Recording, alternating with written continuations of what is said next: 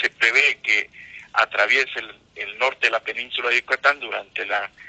noche de, de, hoy, madrugada de mañana y durante la mañana de mañana pues ya se espera que esté ya a punto de, de salir a, aguas del Golfo de México. El residente técnico de la Conagua Campeche, Rafael Chanantillón, confirmó que la tormenta tropical Z, que en las últimas horas evolucionó a huracán categoría 1, impactaría la zona norte de Quintana Roo y se espera que este martes salga al Golfo de México y las mayores afectaciones para Campeche serán chubascos y tormentas en el norte, sur y oriente de la entidad, por lo que pidió a la población estar pendiente de los avisos de las autoridades correspondientes para el estado de Campeche, el pronóstico es de lluvias, que se puedan generar lluvias de fuertes a muy fuertes aquí en el estado de Campeche. Y estas condiciones, pues espera que al menos hoy y mañana eh, se sigan presentando, tengamos lluvias de manera intermitente a lo largo del día